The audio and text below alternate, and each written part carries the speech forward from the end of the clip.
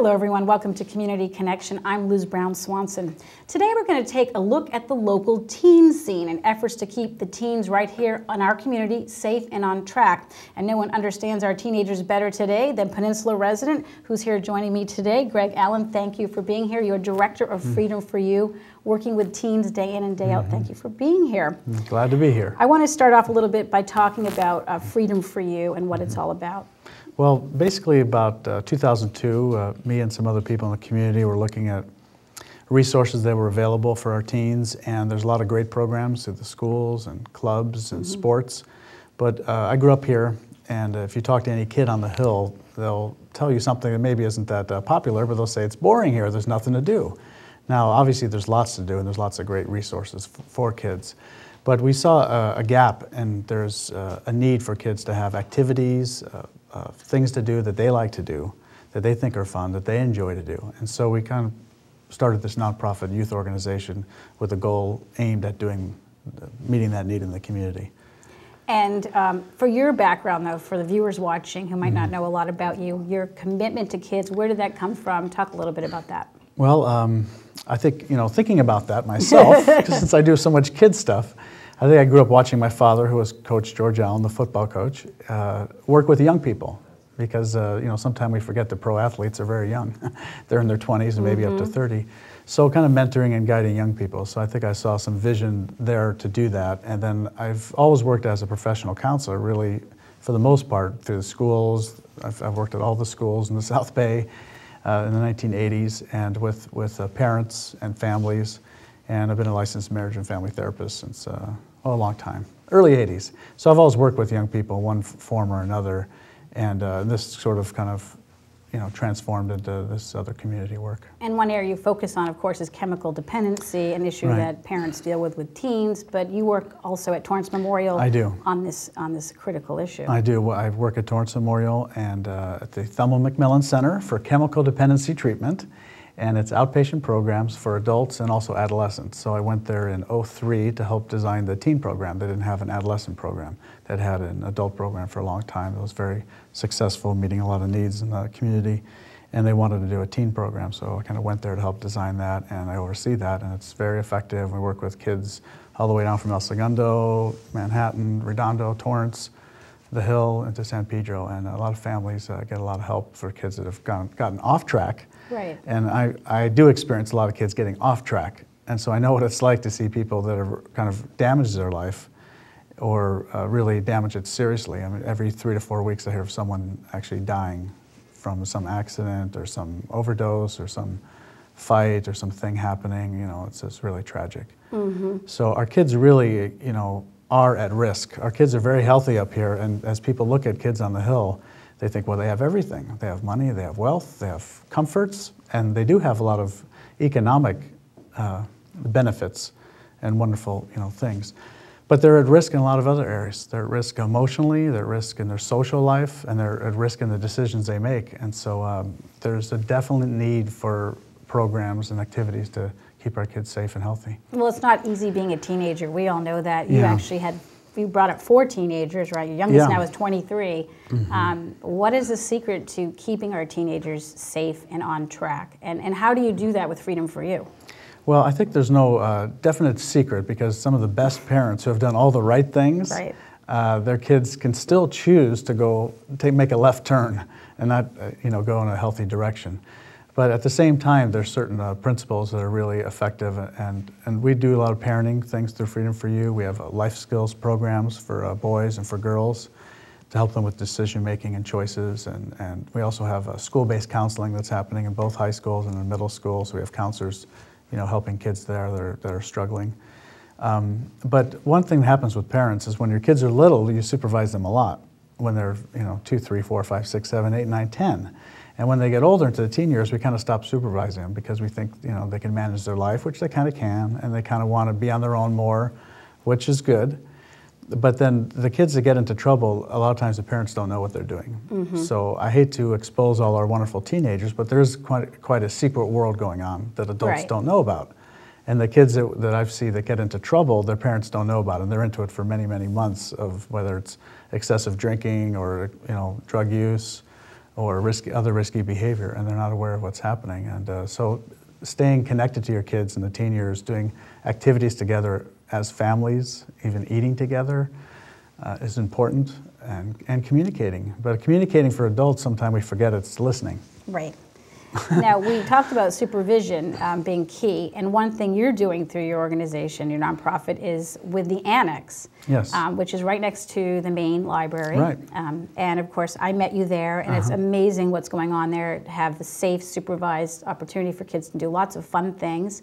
Um, the annex opened what? Now it's been two years. Yeah, September 2006. The annex is a partnership with the Palos Verdes Library District. The Library District really helped lead the way to help the annex happen and we came along and joined together and, and, shared in the cost and the staffing and the programs there. So it's a, it's a great after-school program, after-school needs, and it's the highest risk time for kids is after school, say three to six o'clock across the country really, and it's the same here. Right. And so it's meeting that need. There's a lot of kids that are piling in there and having fun and, and doing safe, constructive things. Right. There was a lot of fun going on when I was there. So mm-hmm. I want to take a quick break, share with our viewers some interviews we had with the teens that are using the annex and parents that are so thankful that it's there. Let's have a listen.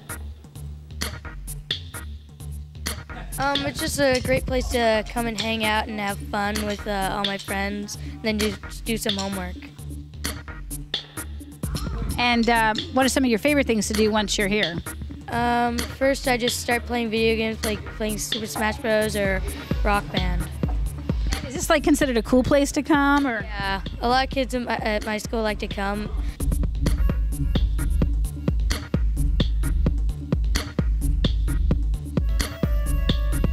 After school, the kids can come here and they can go to classes. They can actually do knitting classes. They have computers in here. There's staff available for the children and for um, just the kids to come and do some homework, and it's a safe place for the kids to come.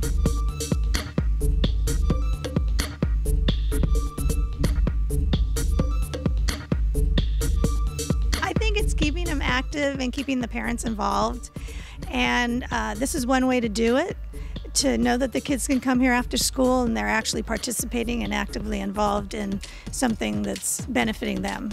Kind of comforting for the parents to have that.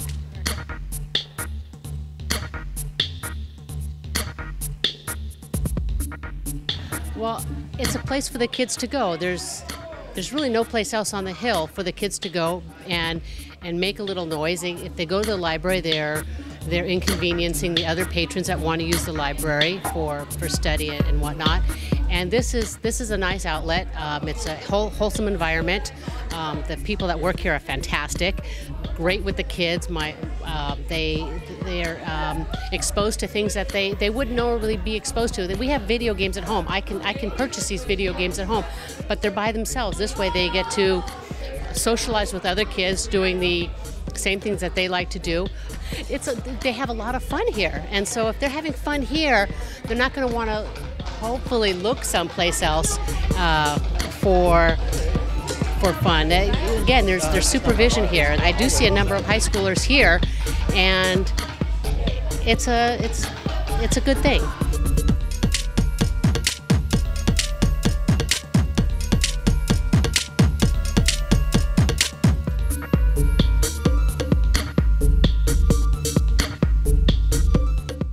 I have to say, I wish there was an annex when I was growing up because it really gives the kids a fun place to go where it's actually cool to do the right thing. Yeah, definitely. You know, definitely. And one thing you were saying to me in our interview prior was that you really would like to see more annexes, probably on other sides of the hill, or. Yeah, the, the hill is sort of geographically challenged. That you know, someone on the east side, it's hard for the kids to get all the way over to the top of the hill there, and even kids down in, in this area, where here in Lunada Bay or the Point Vicente side, it's hard to get all the way up there too. And there's really a need in different parts of the hill for youth programs, youth services. And the annex is open every day after school? Uh, yes, mm -hmm. Monday through Friday, 3 o'clock. And then also on the selective weekend nights, we do some high school programming. After school, it's mainly middle school kids coming mm -hmm. in there, mm-hmm. some high school kids. But then we do some music nights uh, for, with high school kids perform and sing, or we do comedy or drama or you know, and, and it's really wonderful. And a lot of uh, high school kids come and attend that. And It's, a, again, a safe, healthy place to, to go to. Now, beyond giving the kids a safe place to go, you're all and also trying to tell them, help them to make the right choices, to stay safe, stay sober. You're also providing them leadership opportunities, um, opportunities in the arts. Where, how is that all moving along? It's, it's coming along good. Uh, a lot of the ideas that we come up with, we get from teens. So by talking to them and brainstorming with them, getting ideas and vision from kind of their heart, what they think might be a good thing to have or do. And so we'll dialogue with them and get ideas. And so mm-hmm. they'll help design sort of activities or programs. They'll help run, a, run the whole thing. And, and some kids get service credit or service projects, you know, service credit for being there and helping out at the, uh, at the functions. Yeah, I was thinking, I saw one of the things you were doing with the, the middle school kids was to have right. them create skits that they could share with incoming sixth graders? Yes, yeah, we're doing a service uh, learning project. So some students at, uh, at Ridgecrest Intermediate are, are working on an anti-drug skit that they're working on each once a week, and then they're, they're going to perform it for uh, fifth graders incoming to middle schools at the different middle schools on the Hill. So they get a, they're doing some service, but they're doing something a little more meaning and has a learning component uh, tied into it. Right. Now, getting that message out to the kids today, when we talked before, I think you said maybe at least half of the kids, high school age kids, are probably using drugs or drinking? Would no, not that, that high. Okay. Ho hopefully not that high. Okay. If you talk to someone that regularly smokes marijuana, they'll tell you it's 85%. Right. But that's 85% of their social group. Okay. So almost what, everybody they know does. The does. numbers are like like. It's probably you know 30 to 35% of kids are high school students, and it, it increases throughout the grades. Mm -hmm. So it's more when you get to see, towards senior year. Are, are weekly getting drunk and not just drinking to relax. They're getting smashed. They're blacking out. They don't know what they're doing. They're throwing up. They're, you know, they're out of control. And during those episodes, anything can happen. Anything bad can happen. And it's just a roll of the dice whether you get through the night okay or, or you're all right. At the same time, there's probably that many kids that are smoking marijuana regularly. You know, at least, at least weekly. One third of the teens here. Yeah. And, and how many kids are really at? I mean, they're all at risk, I guess, but truly at risk. Well, I'd say those that number, 35%, something. You know, if I had to right. pick a, pick an estimate, are because of their behavior, the decisions, the choices they're ma making, as well as uh, you know just how they live their life, just being their age. They do risky things, whether it's uh, you know sexual activity, or it's uh, driving, or just the activities they get into are, are, risky. The things they think are fun are you know dangerous to them. Now, why do you think most teens party that do make that choice? Is it because it is it the peer pressure? Is it because it's just not easy being a teenager? I, there's no one reason really, because you're looking at research, you know, right. across the country. There's no, uh, and our kids aren't that different from the other kids across the national uh, statistics. Uh, there's no one reason. A lot of the reasons are the same reasons adults drink: to relax, to get away from pressure, to to uh, have fun, to take a time out, to escape. Uh, as well as a big curiosity factor, and as well as the peer pressure isn't friends saying, here, try this, do what I'm doing. It's more your friends that you've grown up with that have been doing basically healthy activities, you know, sports or having fun or playing games. Mm-hmm. Now these friends are beginning to try substances. And so that's the pressure is do I stay with my peer group or not? Do I do what they're doing or what they're risking or, or experimenting and getting into? Right. I think you also told me that for the teen out there that's made that decision to party, um, that you can tell them don't do it for all these host of reasons, their health, whatever, but unless there's a consequence involved, when will they finally not do that? Right, it's hard for someone to change unless there's a, a negative consequence. And right. so a lot of uh, teens don't change. The, if they're going an unhealthy direction with their choices, decisions, behavior, they usually won't change that direction unless there's some consequence. so that's where the parents, I think, need to step in and give them a consequence so, and say you can't drive until you're, you're, you're making better choices or you can't do this or that which means you're going to be unpopular. A lot of parents do not want to take on their kids and challenge their children anymore. Right. Because their kids I are. mean, it's known right here in the Hill. There are kids having parties, that there's alcohol there, parents are allowing that. What do you say to, uh, how do you curb that? Well, I mean, they're participating in, in an illegal activity, you know, and uh, so it's, it's just not a good thing to do. It's, uh, mm-hmm. teaching the kids it's okay to do something illegal, it's okay to drink, to have fun.